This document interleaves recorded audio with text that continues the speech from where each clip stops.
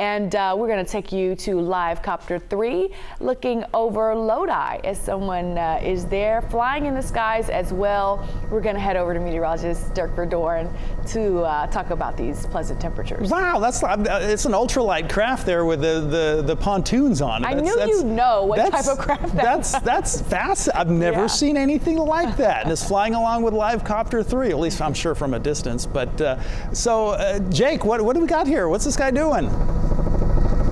Hey Dirk, yeah, we're just out here, uh, out to the west of Lodi, and I was just flying along, and I caught these two guys just flying around.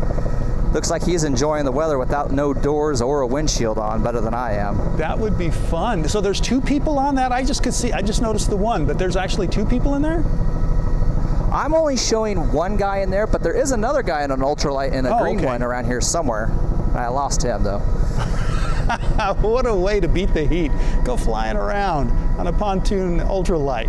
That is really, that's, I love that view. Again, over Lodi, over the grapes, a nice view, and uh, I'm sure they're just cruising along, enjoying things. I know they do have ultralights that are out at the Lodi airport there north of Acampo.